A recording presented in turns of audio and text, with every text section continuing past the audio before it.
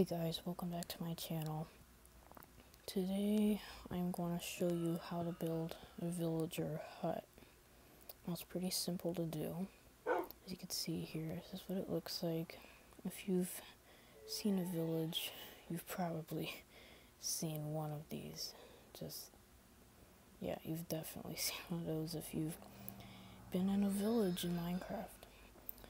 But I'm going to show you how to build one. So, materials you're going to need are oak log, cobblestone, oak door, oak stairs, a glass pane, and then an oak slab. Oops. Those are the materials we will need. So, we're going to start off by putting three cobblestone blocks on each side like this. And you're going to put an oak log on the corners of it like that. Then in the middle, you're going to put three oak logs there. And get your oak stairs and put them right there. Then you're going to take your cobblestone and you're going to put it around there like this and then you're gonna make these oak logs two blocks tie here.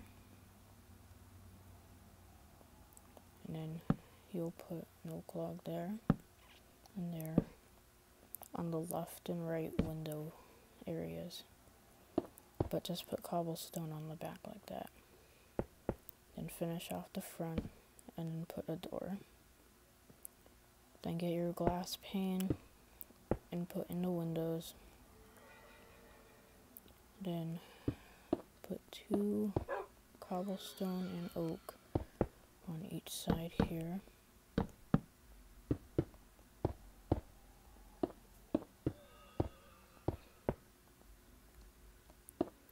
Do it for the door too.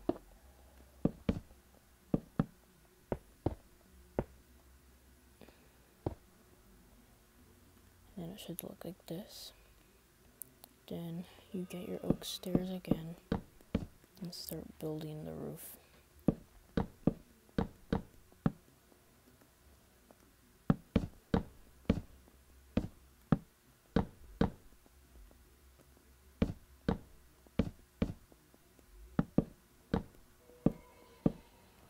You can choose if you want a ceiling here or if you want it above. I'm going to have mine above. And I'll show you what I mean by above. So once you put the second layer of the roof on here, you can put the oak logs like that.